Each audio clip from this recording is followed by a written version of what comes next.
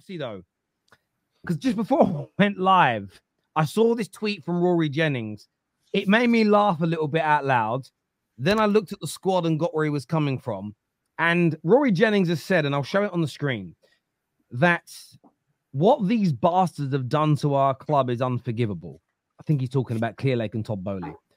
Our 1994 side that finished 14th in the league and lost the FA Cup final 4 0 to Man United is better than this squad. And it's Rory Jennings reacting to the squad going on the USA tour, st- simply stating how poor it is. Even some of the new young signings they've made are not going. Some are, some are not. I mean, it is looking a little bit threadbare, boys, isn't it? Well, look at that. Look at the forwards. Look at the forwards there.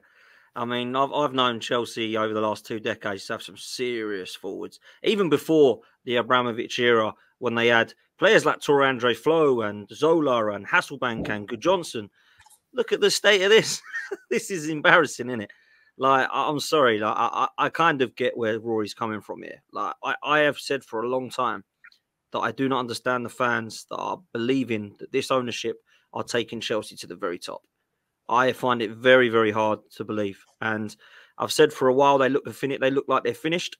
And I personally feel like there's a lot of Chelsea fans that I speak to that are really against this ownership and really don't understand where they're going with it. I will say that obviously it's not their full squad that's going for the title this season, right? We're going into the Premier League this season. So there is a transfer window that's open. But Chelsea, I've said it for a while now, I've got to be serious this window if they do want any kind of success this season, in my opinion. I don't they know what serious, they get. They're not serious. Go on. They're just not, bro. We've said it. How many shows have we come on here and said the same thing? These guys have spent over a billion pounds, yeah, in what two or three years, and they're not even in the top four, bro. Like they are not serious. The people running Chelsea do not know what they're doing, and there's some Chelsea fans that are just going along with it. And I'm so confused as to why these Chelsea fans are going along with it because they've had an owner in Abramovich in the past that was ruthless, that brought them success. And listen, not everyone was a massive fan of the way that they operated the business and the firing and the hiring, but who cares? They probably was one of the most successful clubs this country's seen in the last sort of 20 years. Yeah. And they've got this new guy in who don't know what he's doing. Yeah. He's buying players that they don't need to buy. He's probably selling players that they you don't need to sell. Why he's getting rid of Chalobah, I have absolutely no idea. I think he's one of the actual pretty solid players that they've got. So I don't really, I don't really get that. Uh, really get that. I just think it's a wild, wild situation, bro. And every single transfer window, he just seems to make mad, mad moves. And why, why is he getting rid of Chalobah for? Is that still happening? Yeah, apparently Chalobah. They still want to get rid of Gallagher, don't they? Who I think, you know, I don't think he's an amazing player by any means, but certainly he was one of the better players, in my opinion, for Chelsea. Chalobah as well. Both come from um, you know, the youth academy as well. So I don't really get it. I, I, don't understand it. I'm with you, LB. I don't understand. I've tried to convince Chelsea, make Chelsea fans convince me, like Don and some of the others, that this is going to work, but I just can't listen and understand it. I really don't. I have no idea what this Maresca is going to be, who some of the Chelsea fans now think is going to be as good as Pep all of a sudden because he learned off of him once it is a real sort of copium, isn't it? It really is. And listen, I hope for their sake that Chelsea bang and we're all in the mud. But I do not look at their squad and think, cool, yeah, that's going for the title, isn't it? But you know now, what, mad, How can you say that? How can you say that there, Dan? Yeah, that you just said there. Oh, I, I, look at their squad and I can't see them going for the title when the, with the amount of money that they've spent. I know. At what but point? Because you know what, you know what. Let me defend you and let me defend Arsenal, right? People, including myself, right, Ter- Terry as well people come on this on this show on this channel, and we all say to the to the Arsenal fans, we say it to you, we say it to Ego, we say it to every Arsenal fan on here. At what point is enough enough, and at what point are you going to demand that success from your manager, i.e. Arteta, before you give him the chop? And, and the same question now needs to start going to Chelsea, but higher up. At what point do, do these Chelsea fans, and I know it's not all of them, start saying enough is enough? And I know some of them are already saying that, but not all, not, not everyone is. You spent over a billion quid yeah, you're struggling. You're not even. Eh, eh, eh, I think they struggle. They got Europa League or whatever. Maybe got Conference League. They're not even getting Champions League. But over a billion pound. And I ask you a serious question, yeah. And this would be interesting to hear from Terry as well because he's probably got the worst team out of three of us. How many of those Chelsea players, realistically, now serious, bro, for real? How many of those Chelsea players, seriously, yeah, would you take at your team? I might take maybe what one or two. I don't even know off the top of my head. Dan, maybe the set, maybe maybe Terry a few more. They spent over a billion quid, and I'm not even sitting here. I want him, him, him, him, him. If, if I'm being honest with you, are we talking the whole squad or just the traveling squad for this tour? Nah, I mean whatever. Like whole, whatever. whole, we'll do the whole squad. Caicedo, I, I would take at Man United with, with what we've got right now. Definitely would. And I'm looking at their squad now in front of me. Palmer. Cole Palmer, yes, yes, yes. I take Cole Palmer, of course. Forgot about him. That it. Levi Colwill, maybe. Really good prospect. Really good prospect. And, I, am being honest uh, again. And I'm not saying their players are poor, but I'm still looking at it from a perspective of how much are you improving. I look at the players we're linked to this summer, which we'll get on to later, and I think about the that we haven't even signed yet. I think about Ivan Toney, Zubimendi, Frimpong. Uh, actually, I'll tell you who I would take. Actually, Gusto. I think Gusto's a good player at right back. Yeah. Having said that, I wouldn't start Gusto over Dalot, but I take him in my squad, right? And that's not me saying Gusto's poor. So there's there's three or four, maybe five at Man for Man United, and we've got a squad that needs an overhaul. For you two, whose squads are at title contending level, there can't be many. That's I'll take Caicedo, Caicedo and Palmer, hundred percent. Other than that, I'm kind of struggling. I like Reece James, but he's made of glass. Gusto's not better than Ben White, but he is a good player. I wouldn't take any of their centre halves. You could probably vouch at Arsenal for Cucurella and maybe at City because obviously he's doing well at the moment. He's a proper left back, but I wouldn't say he's outstanding, like one of the best around. But he's okay. But yeah, I'm struggling, man. So that's the I'm point that I'm making, bro. How is that? How is that a real thing? How have they spent over a billion pound? Yeah, close to 1.5 billion, and the three of us here collectively are looking at maybe four players max out of their team that we take right. That, that is absolutely wild. And this is why I said Chelsea under this owner, it's the biggest waste of money we've ever seen in football ever. Backs. It, it, it's crazy. I mean, when I'm looking at this squad as well, like I understand that you've still got Caicedo, Enzo Fernandez, Palmer. Uh, I assume Gallagher's on holiday because obviously he was at the Euros, but they want to kind of sell him, so I'm taking him out anyway. They've got four or five players that you would you got to come into this squad that are, that are not there. But it's when you start, and, and I often judge a team, and I think when you judge the best clubs, and Chelsea are in that category of best clubs, it isn't just the first 11. You have to judge what's there beneath the surface, what happens with a few injuries. That's where the concern is. And for all the Chelsea, I mean this genuinely. I, I haven't judged Chelsea yet this year. I'm not sort of sitting in the camp that's saying they can't be successful. I don't think they should just, just be written off. I don't believe they've lost their pull. But I do look at the thinness of this squad. It, I was only after Rory Jennings' tweet. I never thought about it. And I'm looking at it and thinking, if Palmer and was to get a bad injury this season, where's the goals and creativity coming from? Genuinely. If Caicedo was to get a bad injury this season, who's going to anchor and secure that midfield? You've got, yes, you've got Lavia that might be able to do it.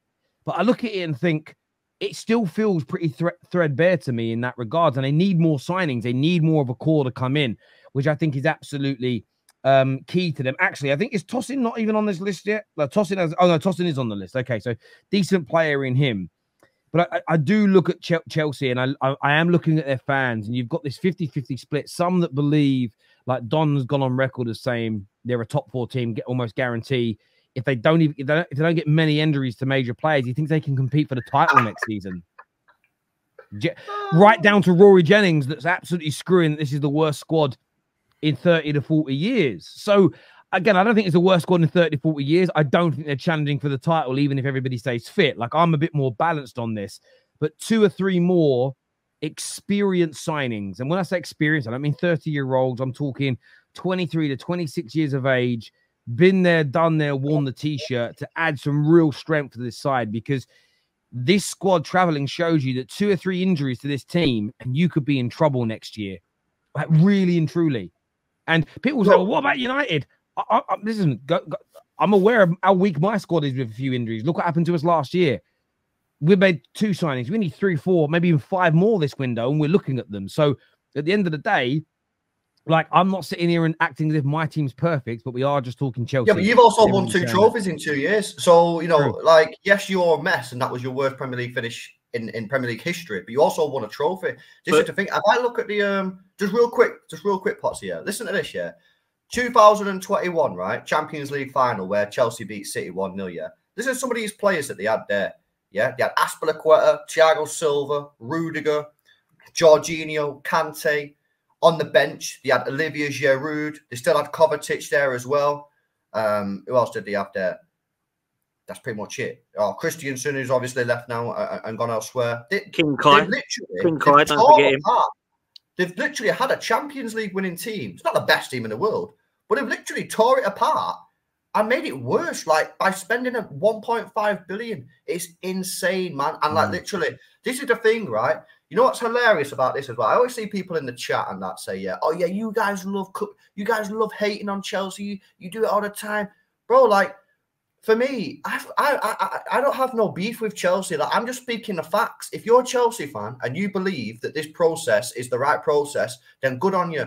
Wish you luck. You know what I mean? Literally, I don't lose sleep over it. Yeah. All I'm saying is wake up and smell the coffee. In 2021, you won the Champions League. They've took that. They spent over a billion pound. Yeah, and you've not been in the Champions League since. So for me, I just think that you really guys should like. You think we're the haters. Maybe you hate your own club in it because that's where you want to be, man do, do, you know what's really interesting for me as well? Like I, have I've defended Chelsea a lot of things this summer, and I stand by it. There's, there's another player who's currently in the squad that I'd take in that squad. Actually, Tosin is there. I would. So he's another one. So I said four or five of their players I, I would take, but my squad isn't anywhere near where I want it to be. You're in a different situation. What I would say is exactly what I said a few weeks ago. The club has got to stop bigging up all these youngsters they sign, like Omari Kellyman the way they reported that to the media and the journalists that were talking about it and the quality of the player and the money and the plan, for him to not be on this tour is almost embarrassing. It's you you didn't need to big it up. We all know why you've signed this Kellerman guy. Mm. within the rules, it's within the regulations. But the fact that there were so many of the clubs facing PSR issues, we all trading players, we kind of knew why he did what you did. But they still gave it this fanfare, like, yeah, this this is our guy. This is the guy that's going to transform Chelsea. Stop doing it. All of our clubs sign young players from other Premier League clubs, but there's very rarely a fanfare. Like Man United are linked to this guy at the minute that's, that's joining from Arsenal's academy. That's I think he's announced today. I hate the fact it's being reported on by the the the the, the Ornsteins and the Fabrizios. Why are we putting all this pressure on this kid? I'm not saying it's coming from Man United because I don't think it necessarily is. It doesn't read like a Man United report. But why? it's not like this this young uh, Obi Martins. It isn't like he's some young starlet that the whole world wants to sign. He's he's a good footballer probably, but there's certain times where you don't need to hype a youngster. And Chelsea kind of do that to themselves. Look, they need a few more good signings this summer. One player they are linked to today. Um, I want to put this up on the screen uh, for the haters that think I make these things up out of nowhere. Um, is Arsenal lead the race for Mikel Merino, despite Chelsea's interest? There are reports that are now starting to transpire that Chelsea want to hijack the move for Mikel Merino to stop him from joining Arsenal and for Chelsea to sign him.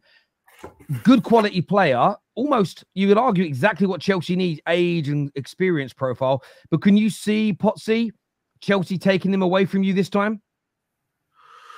Mate, I think we should just go and sign Rick Williams. Does anyone know who he is? No, I don't either. But Todd Boehly will want him if I say it loud enough because um, he has no idea how to scout players. He just goes on what Liverpool want, what Man City are after, what Man United are after, and what Arsenal are over. Uh, it's crazy, isn't it? We link with Mikel Merino, and they're like, "Oh, who's that? Yeah, go on. Any good? Yeah, go on. Then we'll, we'll, we'll say we want him as well. Then, seeing as everyone else wants him, it's what it seems like with Chelsea sometimes. Very bizarre how they go about things. Um, they'll probably chuck a load of money at it, like I did with Mudryk, overpay by about fifty million, um, and uh, and and potentially get him. But from what I hear, Mikel Merino is more interested in Barcelona and Arsenal if those two clubs are interested. So I think as long as those two clubs want him, they'll get him ahead of Chelsea. If the clubs don't want him, then Chelsea will get him. If he wants to leave, he definitely wants to leave Sociedad. If he wants to go to England and fancies a, a you know a, a top six fight at Chelsea, then go for it. But I feel like he will probably want to go and try and win the league and the Liga with Barcelona or try and go for a title with Arsenal. So I expect that will probably be more likely. I think it's quite an easy deal for us to get done if we want to. He's around 20 million pounds. Mikel Arteta is really interested in him from what the reports are suggesting. But one thing on Chelsea I wanted to mention quickly. I agree with you, Tel, that they do big up some of their youngsters. Oh, have you ever seen this kid play on YouTube? He looks unreal. This Paez is the next one, isn't he? The next Ecuadorian centre midfielder. Looks like he's going to be next level or whatever. Um, he's about 15, I think. Um, and then you've got this Marc Guiu that everyone's talking about. Barcelona come on once and scored a goal. He's going to be the next best thing. Like, just don't put pressure on him. As for Chido Obi Martin, I, I, agree with you, Terry. I, I, think he's going to be a highly rated player, and if Arsenal get, uh, if Man United get him, it probably would be a little bit of a sour taste left in my mouth because he's been absolutely killing it in the unders for us. But Chelsea, what LB was saying was spot on. And the reason I was going to come in right was when LB was saying, look, in the chat, people hate the fact we're trying to cook on Chelsea and we're trying to be the, you know, the haters of Chelsea. When someone's reply is, well, what a Man City signing? But what have Arsenal won? Look at the state of Man United. You know you've kind of got a good argument there because they can't fight back with their own opinion on why they think it's going to work. So they try to just slate your club. So, you know, like we got here, Dan, stop hating. I'm just speaking facts. I couldn't give a damn about Chelsea. I hope it continues. I hope what you're doing right now continues for the next 20 years, bro, at least. I hope it does. But if I was a Chelsea fan, I would not be happy. I'd be rioting on that pitch. I'd be taking everybody that agrees with me with me, and I'll be trying to get that ownership out because it has been a shambles. It is a case study of how not to run a football club. Spending a billion pounds more, and look at the mess that you've got. And people think Rory's going to be putting out that for likes, tweets, clicks. Rory doesn't need likes, tweets, or clicks, right? Rory does not need that. Rory gets enough. Rory gets enough of that. Rory's actually talking facts, in my opinion. I think everything he said there. Don't look at that squad and go, "God, Shells, look how much they've improved." Wow, they just haven't. And if they want to go to that next level, go and buy Osimhen. Go and get in the Pedro Neto. Go and get in somebody in midfield that can take you. Even Mikel Merino would be actually a quite a good signing at 28 with some experience who's just won the Euros. Go and take your team to the next level. Don't go and buy the next 19 year old who's supposed to be Neymar in 15 years. Like, come on.